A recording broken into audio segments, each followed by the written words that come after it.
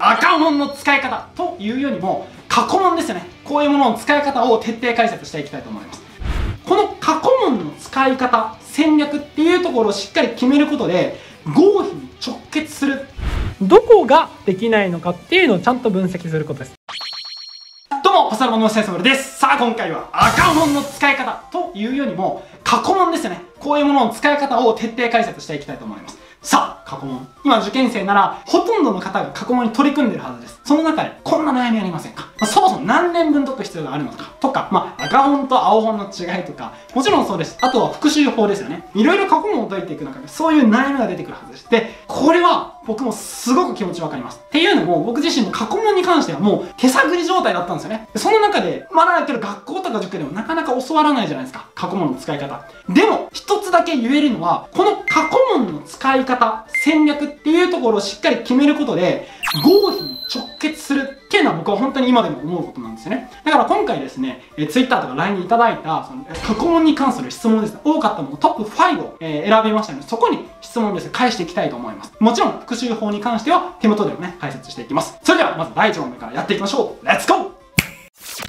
過去問はいつから始めればいいですか？はい。まあ、すごくいい質問ですよね。ま、過去問いつから始めればいいか。一言で言うと、科目ごとに僕は違うと思ってます。えー、まず9月に関してはやっぱり英数国がメインです。そして10月に関しては理科社会ですよね。でそれ全ては11月の大学別の模試に合わせる。これは今までの動画でもね、説明してきました。でも、一つだけ、今の時期に言える基準っていうのがあるんです。それが、過去問を3年分やっているかっていうことなんですよね。これもぜひ皆さん解いてほしいんですけれども、例えば脳の方ね、まだ過去問3年分もやってないですっていう方は、まず結構優先でいいので、3年分ちょっとやってみてください。で、できれば全科目を通してほしい。で、この3年分のフェーズってこれ何かっていうと、点数を取らなくていいんですよね。点数を取るために過去問やるんじゃなくて、問題の量とか、まあ、あとは時間配分とか、あとは、まあ、制限時間に対する、まあ、量ですよね。だから問題形式、いろんなことが学べると思うんです。そこで、まず自分に足りないところっていうのを見つけてほしいんですよね。例えば今なら英語とかだとすごくわかりやすいと思います。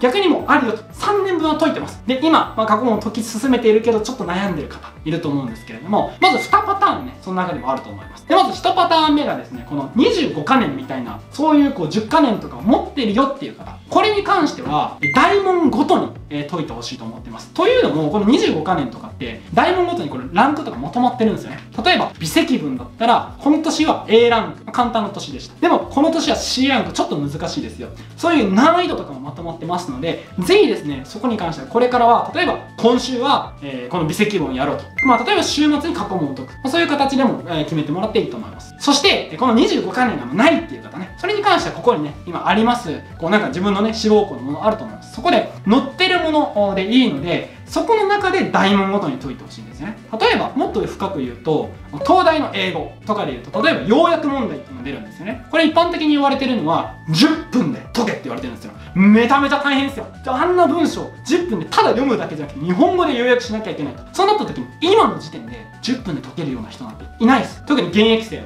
今は逆に時間とか気にしないでほしいんです。どちらかというと、時間を例えば15分、20分かけてもいいから、自分の納得する答えっていうのを出してほしいんですよね。それを回答と比べる。そしてできれば添削とかもしてもらう。そういうこう時間をかけてでもいいからしっかりと質をね、高めるっていうフェーズにね、してほしいなと思います。過去問は何年分やればいいですか？はい。ということで、まあこれですね、特に25カ年とかね、ある方は25年全部やらなきゃいけないんですか？とかね、言う方もいると思います。でも大丈夫。僕も25カ年やってないです。これですね、僕は本当に思うのは、最低ラインは5年です。特に11月までは5年分をやってほしい。特にこの直近のものですよね。で、例えばですね、ものによってはなんか3年分しか載ってないとかね、あると思うんですけれども、載ってるものでまずは僕はいいと思ってます。その代わり質よりも量じゃなくて、量よりも質ですね。そこをぜひ高めてください。過去問をやる頻度は？これはですね、まあ、人によるんですけれども、特に現役生は、まあ、平日は学校があると思います。なので、土日のどちらかっていうのは、絶対ぜひ過去問やる日っていうのを決めてほしいと思います。その代わりですね、その土日に合わせて平日を参考しとったりとか、そういうとこに合わせてほしいんですよね。さっきちょっとちらって言いましたが、僕だったら数学は特に、えー、じゃあ今週はベクトルをやろうと。って決めたら、ここに合わせてまずは参考書でベクトルを固めます。例えば、フォーカスゴールドのステップアップ問題とか、プラチカとかでベクトルを固めていきます。土日のどちらかに過去問のベクトルを大体まあ3、4問ですね、やるっていう風に決めてました。これはですね、ぜひですね、まあ特に数学と英語に関してはやってほしいなと思います。過去問は赤本と青本どちらがいいの？あこれですねよく聞かれますよね。まあ赤本と青本。これですね例えば今回まあ早稲田のね青本持ってますけれどもまず違いとしては多分年度がねあると思ってます。確か青本の方が1年分少ないんですよね。これ5か年。けどここにあるのは6か年。でも青本の方がまあ回答解説は丁寧。分かりやすい。っていうのは言われてます。でも僕は一つだけ思うのは青本も赤本も一緒に僕は買う必要はないと思う。まず自分の手元にどちらかでいいと。もしどうしても青本が必要なら学校の進路指導室ね。あのそこに行ってみてください。めちゃめちゃブワーってあったりとか先生に頼めばそういうのねできるのはスキャンしたものあるのかな。わからないですけどそういうの置いてあると思うのでぜひまずはどちらかを持ってほしいなと思います。過去問の復習方法について教えてください。はい。まあ、復習方法ね。まあ、言葉ではいろいろ言えるところあるんですけど、ね、言葉よりもやっぱり証拠ね。えしっかりとこれからちょっと手元でですね、数学と英語に分けて説明したいと思います。それでは、まず手元に移ります。どうぞ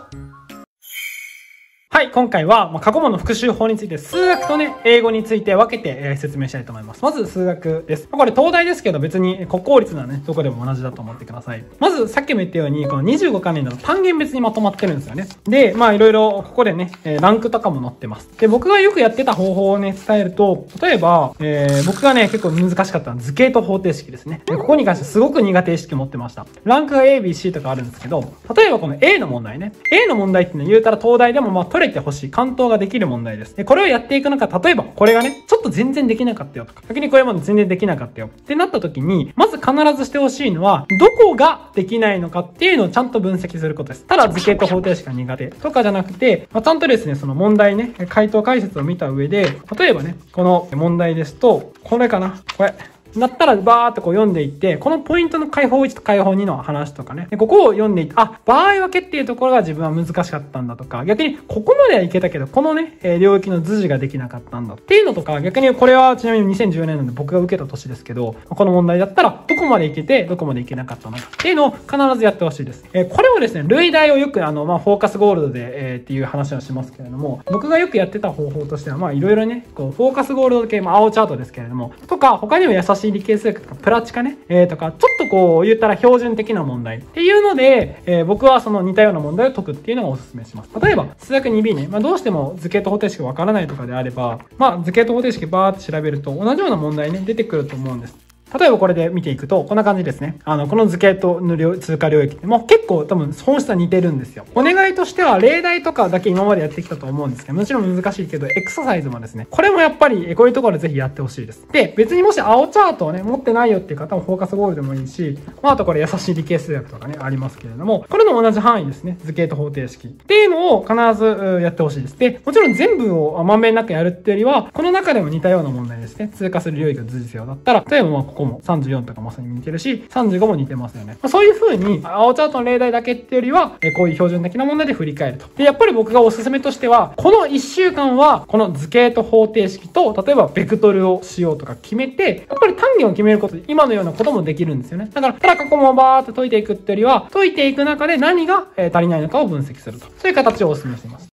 で、例えば次、英語。英語に関しても、これ、えー、わかりやすいのはですね、特に、例えば今、英作文開きましたし、これ、僕が受験の時のやつなんですよ。これ、犬と自動販売機出て、会話文を自分で考えるみたいなね、感じですけれども、例えばこう、英作文をどんどんやっていくと、なった時に、えー、自分がこうやっていく中で、まあ、どういうのが足りないかっていうのを分析する。特に僕が、あ受験生の時に多かったのが、表現の幅が足りなかったんですよね。例えばこういう風に書きたい時に、どう書くかっていう話とか、逆に英作文の型みたいなね、自由英作文の、とかをすごく思ってました。で、僕が実際に使ってたのはこれですね。これめちゃめちゃ古い版なんですけれども、今ちょっと表示が変わってます。この原則編とかだったら、よくあるのこの変質表現一覧っていうのが載ってるんですよね。例えば、ストレス、痛みなどを取り除くとか、細菌とかね、残念だとか、まあいろいろありますけれども、こういう表現っていうのを僕は、あの、一つ一つ、えー、確かめていってました。でこれがすごいわかりやすいんですよね。その間違い例としたら、えー、こういうのは間違いだけど、こういう何々少ないは、であーとかじゃなくて、few people なんとかとか。こういうのをやっぱりやっていくと、すごく自分の引き出しがあの溜ままるんですよね。だから、えー、ぜひですね、この英作もそうだし、他の単元とかでも、英語も同じように、まずは単元ごとに、えー、特に今月とかね、9月、10月とか単元ごとに絞ってやるっていうのをお勧めします。で、入試直前期は、やっぱり時間を計ってってなるんですけど、今がやっぱり時間気にせずね、ガツッとやれると思いますので、ぜひこの英語も数学もね、こんな感じで、必ず過去問とそして参考書ですね。この2大体制でぜひ週に1回過去問、そしてそれ以外は参考書っていう形で、ぜひやってみてください。それでは、こんな感じで、もしね、今後も過去問についてもそうだし、これからわからないことあれば、ぜひやっぱり受験生の味方でね、ありたいので、遠慮なくコメントで、えー、どしどしリクエストください。そして、この動画良かったなと思う方は、高評価、チャンネル登録の方、お願いします。それではお疲れ様でした。バイバイ。